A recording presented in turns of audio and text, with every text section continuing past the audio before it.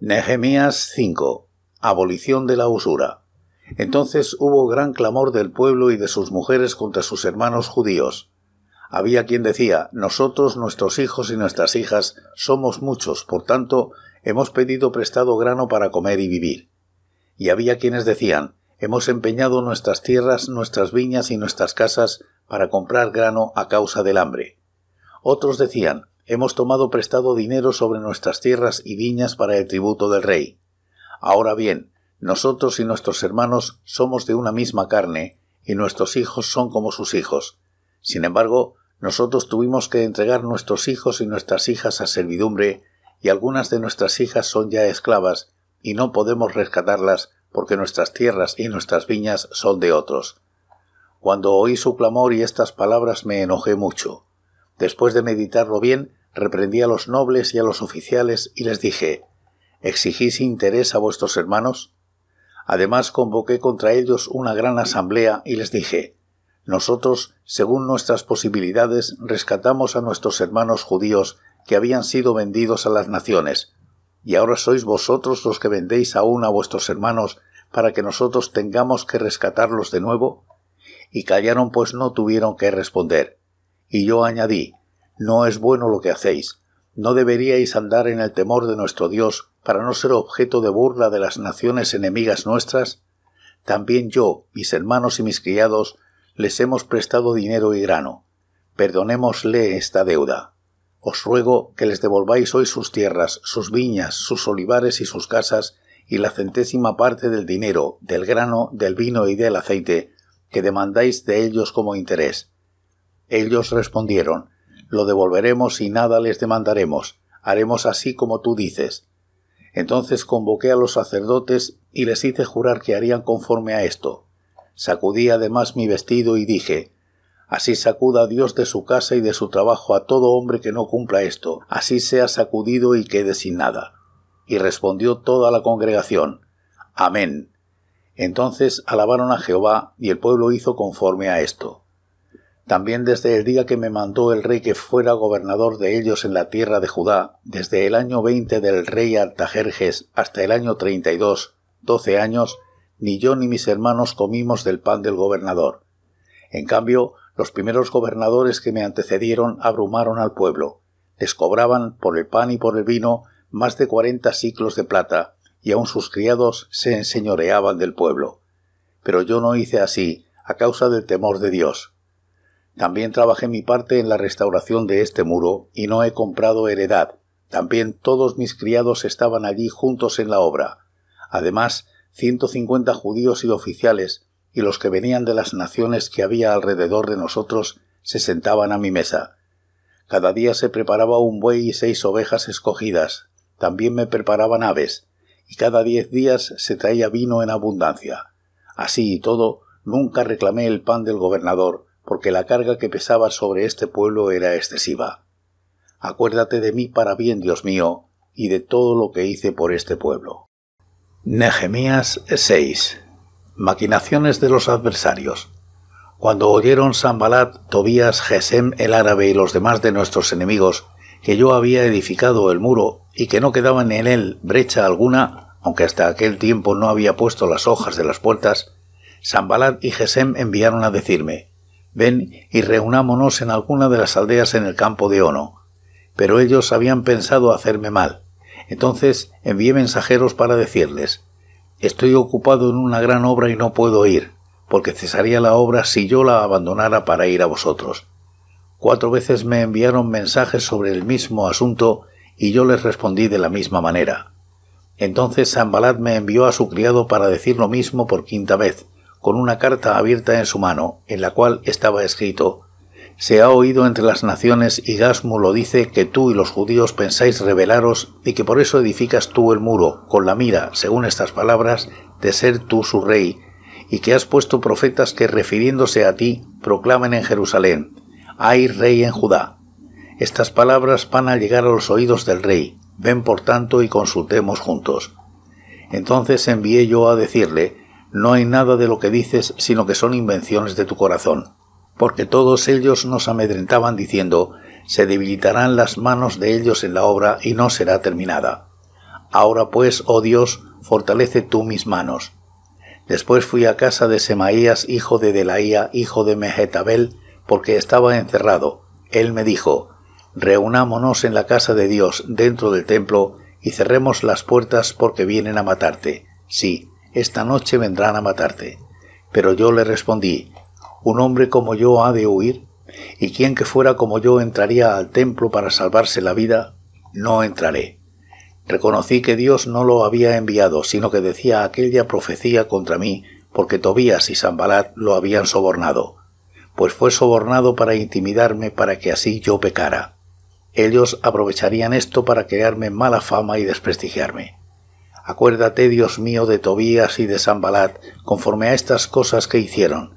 También acuérdate de la profetisa Noadías y de los otros profetas que procuraban infundirme miedo. Fue terminado pues el muro el 25 del mes de Elul, en cincuenta y dos días. Cuando lo oyeron todos nuestros enemigos, temieron todas las naciones que estaban alrededor de nosotros, se sintieron humillados y reconocieron que por nuestro Dios había sido hecha esta obra. En aquellos días los príncipes de Judá enviaban muchas cartas a Tobías y recibían las de éste, porque muchos en Judá se habían aliado con él, pues era yerno de Secanías, hijo de Ara, y Johanán, su hijo, había tomado por mujer a la hija de Mesulam, hijo de Berequías. También contaban delante de mí las buenas obras de Tobías, y a él le referían mis palabras, y Tobías enviaba cartas para atemorizarme. Nehemías 7. Nehemías designa dirigentes. Después que el muro fue edificado y se colocaron las puertas, se nombraron porteros, cantores y levitas. A mi hermano Hanani y a Hananías, jefe de la fortaleza de Jerusalén, pues era un hombre de verdad y temeroso de Dios, más que muchos, les ordené y les dije, Las puertas de Jerusalén no se abrirán hasta que caliente el sol, y se cerrarán y atrancarán antes de que se ponga. Y de entre los habitantes de Jerusalén nombré guardias e indiqué que cada uno hiciera su turno frente a su propia casa. La ciudad era espaciosa y grande, pero había poca gente dentro de ella, porque las casas no habían sido reedificadas. Los compañeros de Zorobabel en la repatriación. Entonces puso Dios en mi corazón que reuniera a los nobles, a los oficiales y al pueblo, para que fueran empadronados según sus familias, y hallé el libro de la genealogía de los que habían subido antes, y encontré que en él se había escrito así. Estos son los hijos de la provincia que subieron del cautiverio, de los que llevó cautivos Nabucodonosor, rey de Babilonia, y que volvieron a Jerusalén y a Judá, cada uno a su ciudad. Ellos vinieron con Zorobabel, Jesúa, Nehemías, Azarías, Rahamías, Nahamani, Mardoqueo, Bilsán, Misperet, Bigbai, Nehum y Baana, Lista de los hombres del pueblo de Israel. Los hijos de Paros, 2172. Los hijos de Sefatías, 372. Los hijos de Ara, 652. Los hijos de Pahad Moab, de los hijos de Jesúa y de Joab, 2818. Los hijos de Elam, 1254. Los hijos de Zatu, 845. Los hijos de Zakai, 760 los hijos de Binui 648, los hijos de Bebai 628, los hijos de Azgad 2622, los hijos de Adonicam 667, los hijos de Bigbai 2067, los hijos de Adin 655, los hijos de Ater de Ezequías 98, los hijos de Hasum 328, los hijos de Bezai 324, los hijos de Harif 112, los hijos de Gabaón 95, los hombres de Belén y de Netofa 188, los hombres de Anatot 128, los hombres de Bet Azmavet 42, los hombres de Kiriat Jearim, Cafira y Beerot 743, los hombres de Ramá y de Jeba 621, los hombres de Micmax 122, los hombres de Betel y de Jai 123, los hombres del otro Nebo 52, los hijos del otro Elam 1254, los hijos de Harim 320, los hijos de Jericó 345, los hijos de Lod, Hadid y Ono 721, los hijos de Senaa 3930. Sacerdotes, los hijos de Jedaía, de la casa de Jesúa, 973. Los hijos de Imer, 1052. Los hijos de Pasur, 1247. Los hijos de Harim, 1017. Levitas, los hijos de Jesúa, de Cadmiel, de los hijos de Jodavías, 74. Cantores, los hijos de Asab, 148. Porteros, los hijos de Salum, los hijos de Ater, los hijos de Talmón, los hijos de Acub, los hijos de Hatita y los hijos de Sobai, 138. Sirvientes del templo, los hijos de Cija, los hijos de Jasufa, los hijos de Tabaot, los hijos de Queros, los hijos de Siaja, los hijos de Padón, los hijos de Levana, los hijos de Hagaba, los hijos de Salmai, los hijos de Hanán, los hijos de Gidel, los hijos de Gahar, los hijos de Reaía, los hijos de Recín, los hijos de Necoda, los hijos de Gazam, los hijos de Uza, los hijos de Pasea, los hijos de Besai, los hijos de Mehurim, los hijos de Nefisesim, los hijos de Bakbuk, los hijos de Jacufa, los hijos de Harhur, los hijos de Badlud, los hijos de Mehida, los hijos de Harsa, los hijos de Barcos, los hijos de Sísara, los hijos de Tema, los hijos de Necia y los hijos de Hatifa los hijos de los siervos de Salomón, los hijos de Sotai, los hijos de Soferet, los hijos de Perida, los hijos de Jaala, los hijos de Darcón, los hijos de Gidel, los hijos de Sefatías, los hijos de Jatil, los hijos de Pokeret Jacebaim, los hijos de Amón, todos los sirvientes del templo e hijos de los siervos de Salomón, 392. Estos son los que subieron de Tel Mela, Tel Harsa, Kerub, Adón e Imer, los cuales no pudieron mostrar que la casa de sus padres ni su genealogía eran de Israel.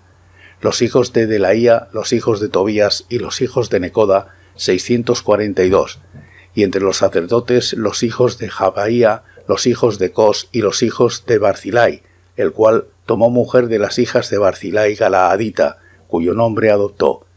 Estos buscaron su registro de genealogías, pero no se halló, por lo cual fueron excluidos del sacerdocio y el gobernador les prohibió que comieran de las cosas más santas hasta que hubiera sacerdote con Urim y Tumim. Toda la congregación reunida era de cuarenta y dos mil trescientos sesenta, sin contar sus siervos y siervas, que eran siete mil trescientos treinta y siete. Entre ellos había doscientos cuarenta y cinco cantores y cantoras. Tenían setecientos treinta y seis caballos, doscientos cuarenta y cinco mulos, los camellos eran cuatrocientos treinta y cinco y los asnos seis mil setecientos veinte. Algunos de los cabezas de familia dieron ofrendas para la obra. El gobernador dio para el tesoro mil dracmas de oro, cincuenta tazones y quinientas treinta vestiduras sacerdotales. Los cabezas de familia dieron para el tesoro de la obra veinte mil dracmas de oro y dos mil doscientas libras de plata. El resto del pueblo dio veinte mil dracmas de oro, dos mil libras de plata y sesenta y siete vestiduras sacerdotales y los sacerdotes, los levitas, los porteros, los cantores, los del pueblo, los sirvientes del templo y todo Israel habitaron en sus ciudades. Al llegar el mes séptimo ya los hijos de Israel estaban en sus ciudades.